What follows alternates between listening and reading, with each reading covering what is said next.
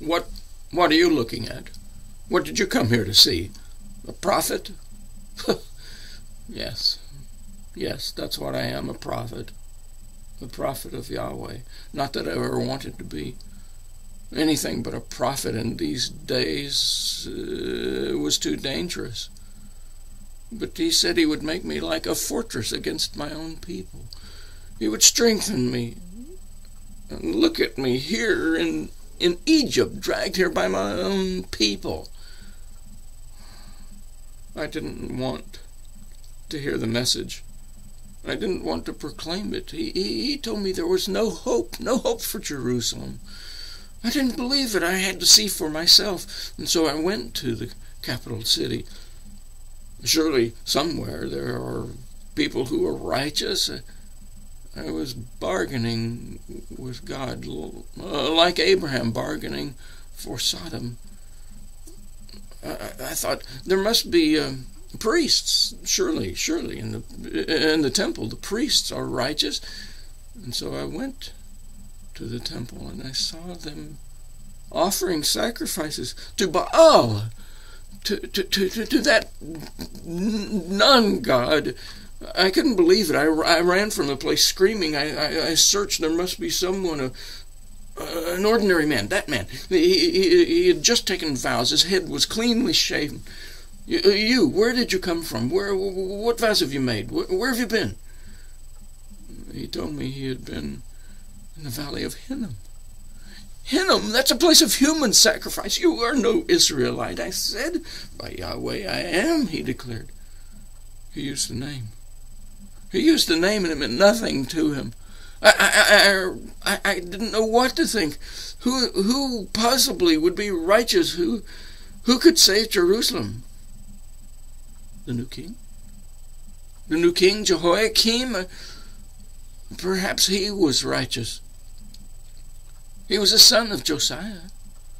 Uh, Josiah, in whom we had placed so many hopes.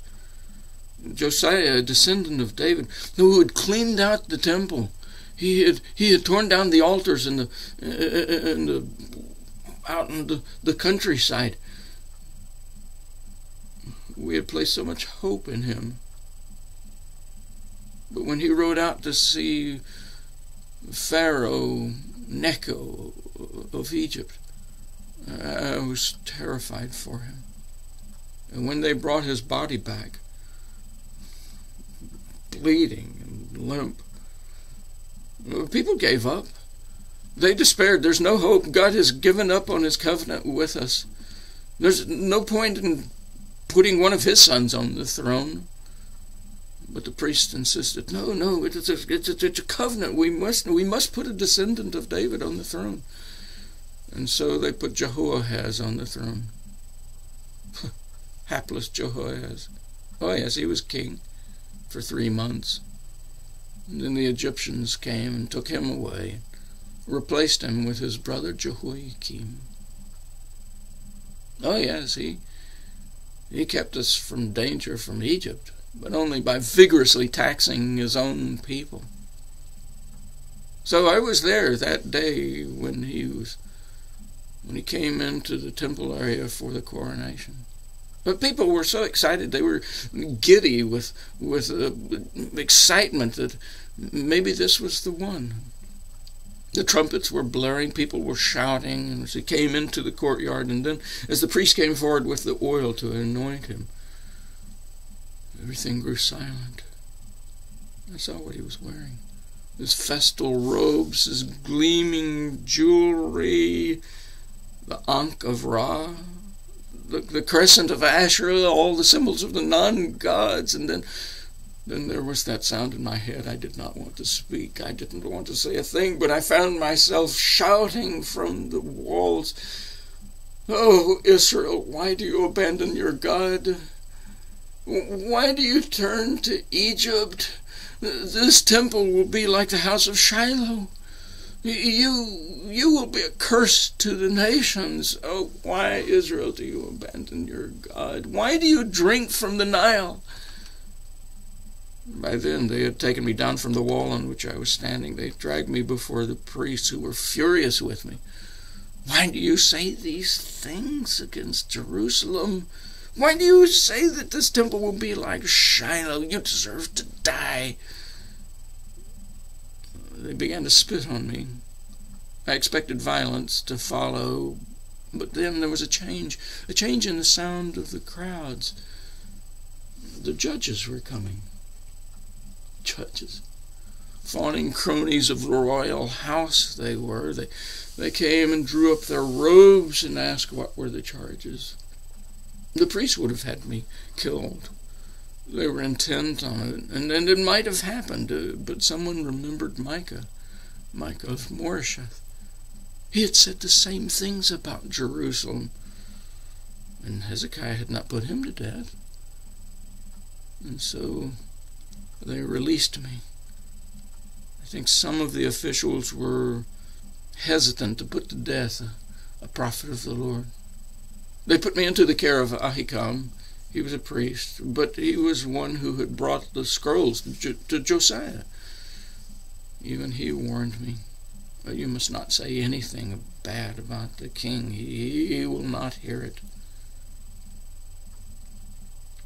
My life's been endangered so many times. I've, I've been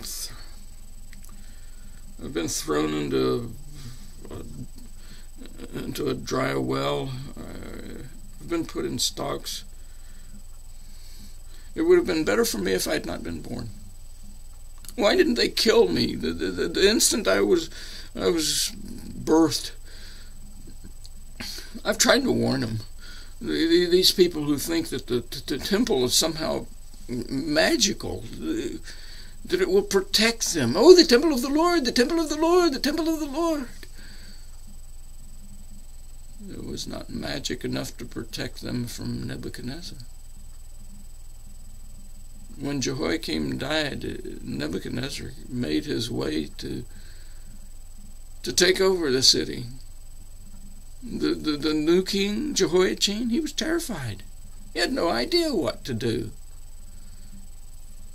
When Nebuchadnezzar came into the city, there was no stopping him. They all hid in the temple, but that didn't stop him. He came in, he took them all. He took the nobles, the royal house, the, the Jehoiachin, his children, and the, the, the loot, the, the, the goods, the beautiful items in the temple. They took them all. Nothing stopped him.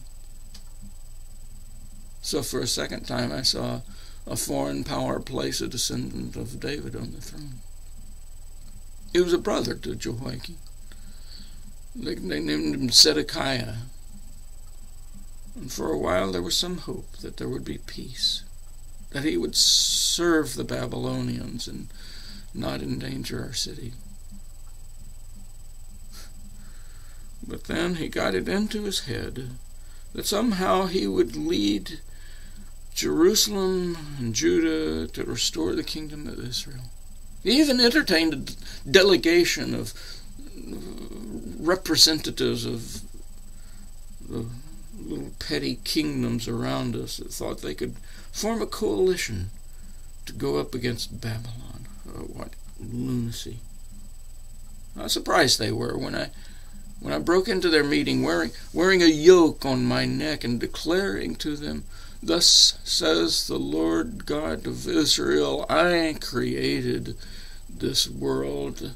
I created the nations and the people and the animals, and I will give it all to whomever I please. I have chosen Nebuchadnezzar and placed it all in his hands, and even the wild animals will obey him.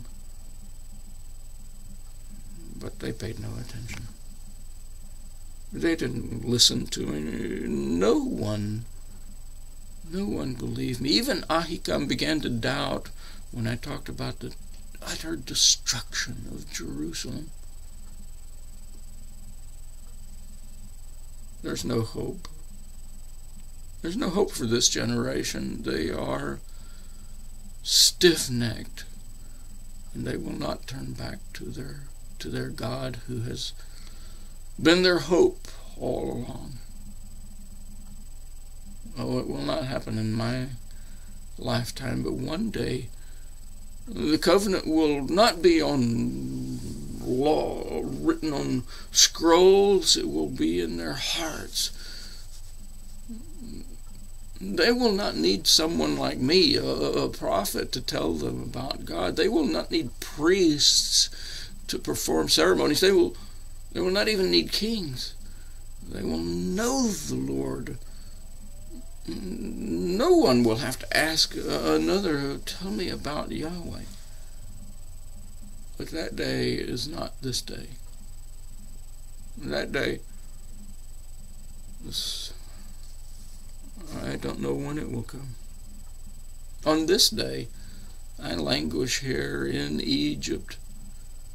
Oh, they say, my people, Yahweh will rescue us. He, he will come for us. But I know that won't happen. He has said that we will die and the words of the Lord surely must come true. Well, there. You wanted to hear from a prophet. There, now you know a word from a prophet. So leave me now, will you? Leave me alone.